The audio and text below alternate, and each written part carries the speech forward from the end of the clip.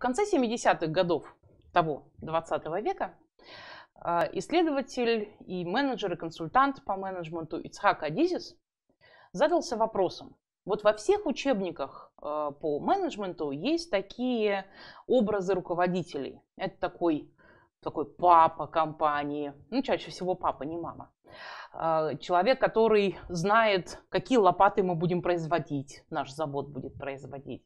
А, это человек, который смотрит в будущее и знает, какие лопаты будут востребованы через несколько лет. Это человек, у которого все упорядочено и хорошо администрируется. И это еще человек, к которому можно прийти, поговорить, он понимает, он такой человечный, он такой а, находит решение каких-то конфликтных ситуаций. И вот, собственно, во всех книжках этот образ, и у нас в голове образ такого руководителя, он есть, но что-то в реальной жизни мы не находим таких людей. То есть у нас либо, а, какой-нибудь, пойдемте, пойдемте срочно э, копать, или нам нужно срочно выполнить план, или человек, который прям дотошный такой бюрократ, все должно быть по порядку, все должно быть уплочено и зафиксировано, либо это какие-то прожектеры, которые, а, давайте замутим какую-нибудь новую лопату. А, вот разные-разные люди, и никогда не бывает вот такого идеального руководителя. И, собственно, тогда по итогам этих размышлений, наблюдений, изучений и совместных проектов, а, он написал книгу «Идеальный руководитель. Почему его не может быть». Что в этой книге интересного для нас и как мы можем это использовать э, в нашей ежедневной практике? В чем суть подхода Ицхака Адизиса? Значит, э, есть четыре основных функции, которые есть у каждого менеджера, неважно какого уровня, неважно какого масштаба компания. Значит, первая у нас э, задача, которую решает каждый руководитель, это продакшн, да, что нам нужно производить, что нам нужно делать, какие продукты, какие товары или услуги мы производим. Дальше любой менеджер решает вопросы администрирования это то, как мы э, организуем работу, как настроены наши производственные процессы, бизнес-процессы и так далее. Дальше любой руководитель задумывается о перспективах, и это предпринимательство. Ну, я по-английски пишу именно так, как а, в книге, и так, как в тестах э, во всех, которые вы будете проходить, как это указано. То есть это предпринимательский дух, это то, что вы смотрите в будущее, то, что вы придумываете, то, что вы видите, э, что вы будете производить, какие услуги и товары а, в, в какой-то перспективе.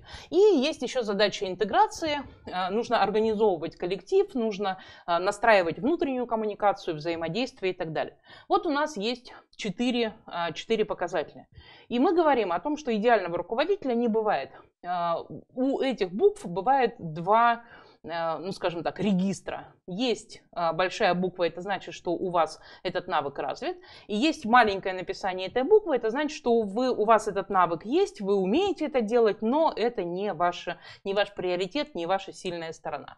Следовательно, э, после тестов, после наблюдений, после самодиагностики, а, ваш код менеджера может выглядеть, например, так. Вы сильны в производстве, у вас а, есть навыки администрирования, но это не ваша сильная сторона. А, вы не то чтобы сильно большой прям предприниматель, вам лучше сконцентрироваться на том, что производится, и вы, например, хорошо организуете людей, да, вы хорошо их интегрируете. Таким образом, вот это ваш персональный код а, менеджера. Какой другой может быть код? В принципе, не важно, что мы производим, главное, чтобы было все Э, правильно оформлена. А, может быть, вообще никакого предпринимательского задора у нас есть прочерк на этой, на этой теме. И маленькая интеграция, что, ну, в принципе, надо же организовать, чтобы все было хорошо администрировано. Но это не сильная сторона человека. Это не тот человек, который может э, организовать работу команды. То есть вот это будет другой код а, менеджера. Что может быть другое? Может быть человек, который сконцентрирован на производстве, у него может быть не сильно, есть, но не сильно развито администрирование, у него очень хорошо развито предпринимательство, он видит, в, видит будущее. И, ну, как-то люди, не, не его сильная сторона, организация людей не очень сильная сторона. То есть может быть вот такой вот человек. Не бывает вот прям, чтобы все было отлично, но вот такие менеджеры иногда случаются. А, особенно в топ-менеджменте часто попадаются такие люди.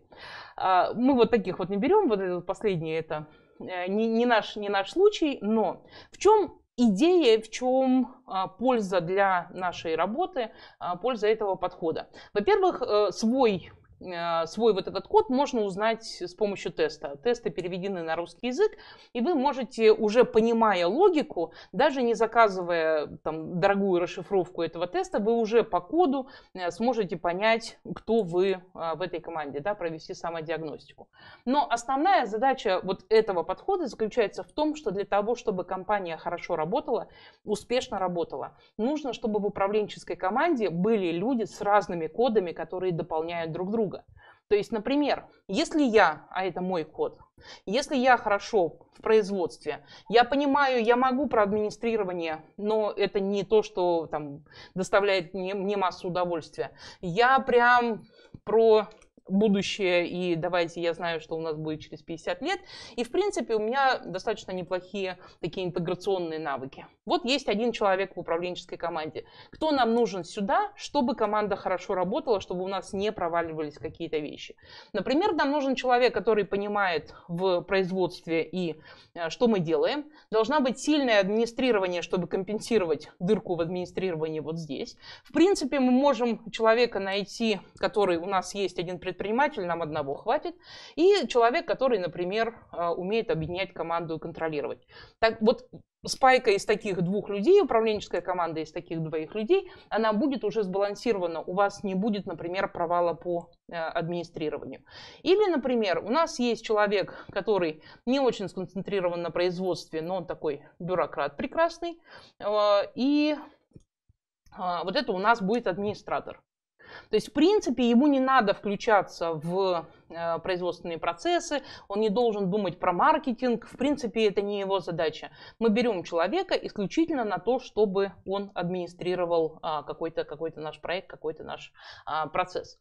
То есть вот комбинируя, собирая команды, а не натаскивая человека, чтобы он был э, воплощением идеала э, во всем, во всех этих проявлениях, вот, собственно, та инновационная идея, которая ну, сейчас считается на русском языке инновационная, но она появилась вот в конце 70-х годов. Пройдет еще лет 50, и мы будем считать, что это э, классика менеджмента. Но сейчас это кажется таки, такой новой идеей, которая позволяет а, очень качественно проводить а, консультирование компаний, а, пересборку редакции, поиск людей, которые а, вот, собственно, компенсируя провал в той или иной сфере, а, они сразу выравниваются и получают хорошие, хорошие результаты на выходе. Вот, собственно, в чем суть концепции Цхака Дизиса.